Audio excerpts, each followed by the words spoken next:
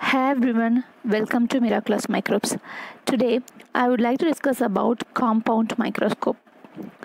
Microbiology is usually concerned with microorganisms which are so small they cannot be seen distantly with the unaided eye. Because of this nature of this discipline, the microscope is of the crucial importance.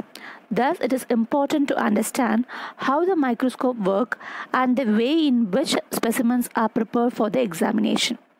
Microscope is a common appliance used in all biological laboratories.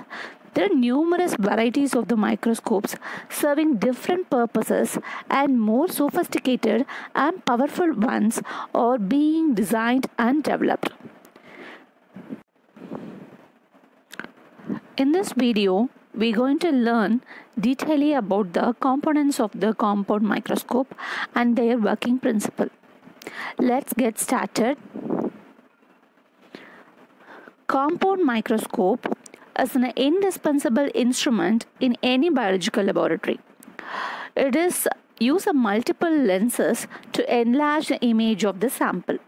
It is used for passive observation of structural details of the cell, tissues or organ in the sections.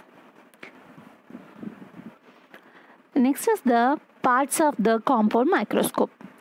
The parts of the compound microscope are of two categories as follows which are non-optical components which is simply called as the mechanical parts.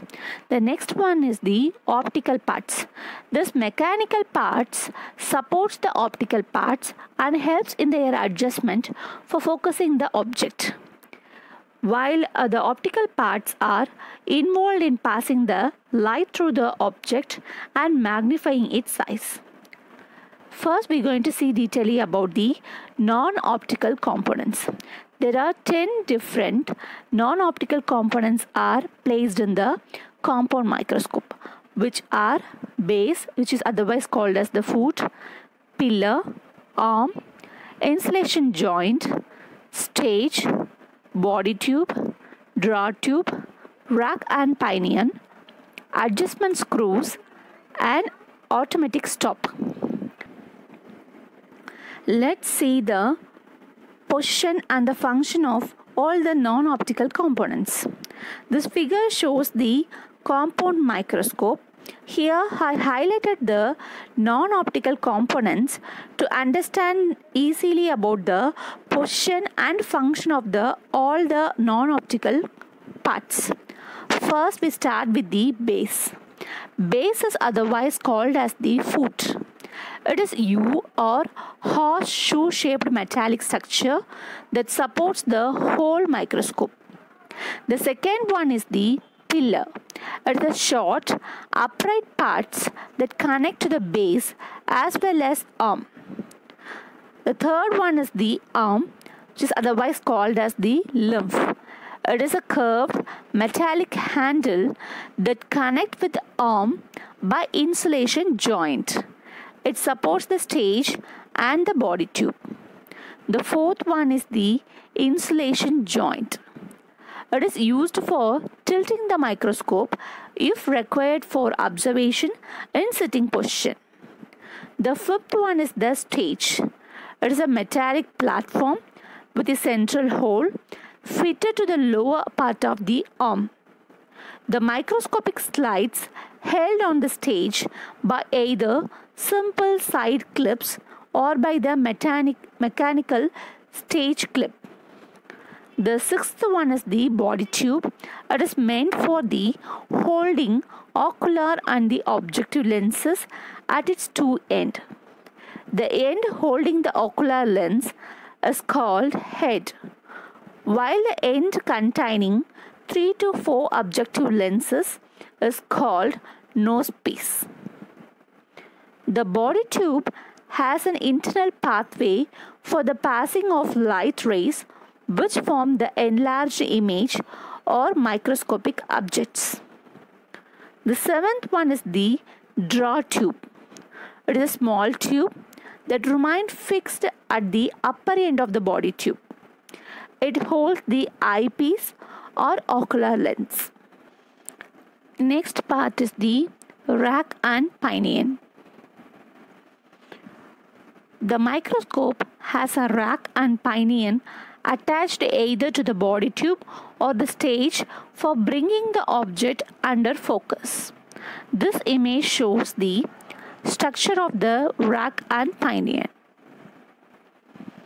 The next part is the adjustment screws. There are two pairs of the screw for moving the body tube in relation to stage, larger for the coarse adjustment and smaller for the fine adjustment. In fine adjustment, the body tube or stages moves for extremely short distances. In coarse adjustment, the body tube or stage can move up and distance. The coarse adjustment is meant for briefly the objective lens at a proper distance from the object so as to form image of the same at the ocular end. Fine adjustment is required to obtain sharp image. The last part is the automatic stop. It is a small screw fitted at lower end or rack and pinion. It is meant for the stopping the downward sliding of the body tube so as to prevent the damage of the objective lens and the slide. Next is the optical components. In this there are five different optical components are there. The first one is the diaphragm. It is fitted just below the stage for regulating the amount of light falling on the object. Diaphragm of two types disc and iris diaphragm. The second is the condenser. It is attached below the diaphragm. The condenser can be moved up and down to focus the light on the object. The third part is the reflector, which is otherwise called as mirror. It is attached just above the base. Both its surface bear mirrors, plane on one side, on concave on other side. Plane side is used in a strong light and concave side is the weak light. Reflector directs the light on the object through the condenser and diaphragm system.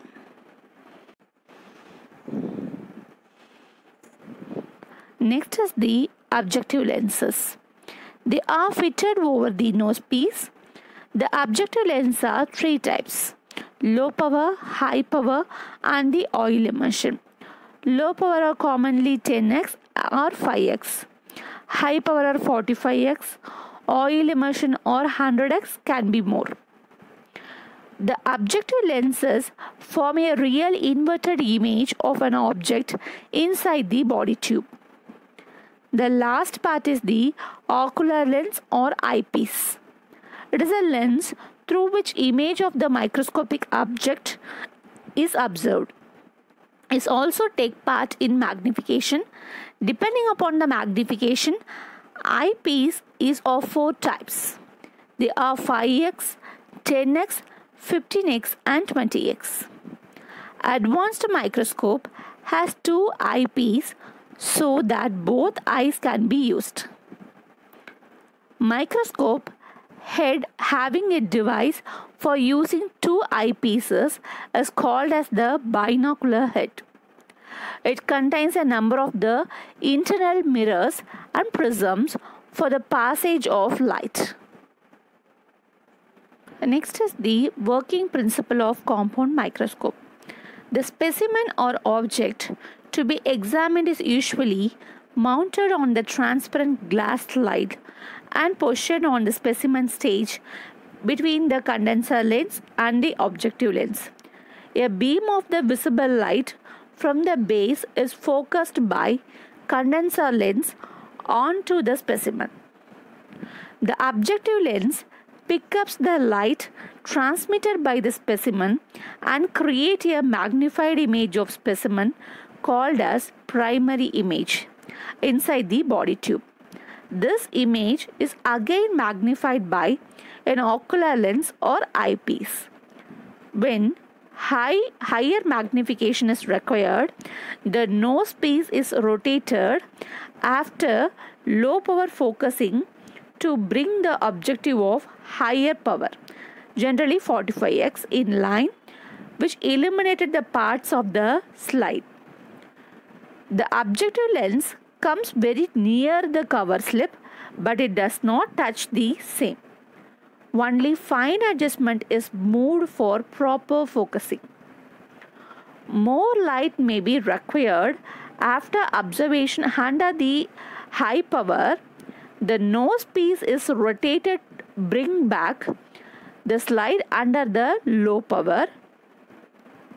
Occasionally, very high magnification is required. In that case, oil immersion objective lens usually 100x is employed. After focusing under the low power, a drop of immersion oil, example cedar wood oil or olive oil, placed over the illuminated parts of the cover slip. The nose piece is rotated to bring the oil immersion lens in line with dry specimen. It comes in contact with the oil by using the fine adjustment only. The specimen is brought under focus. Immersion oil increases the sharpness of the image. Soon after observation, both the lens and the slide are cleared of the oil by fine cotton cloth or lens paper. Thank you. I hope this video gave you an idea about the components and the working principle of the compound microscope. I will catch you at the next video related to the microbiology.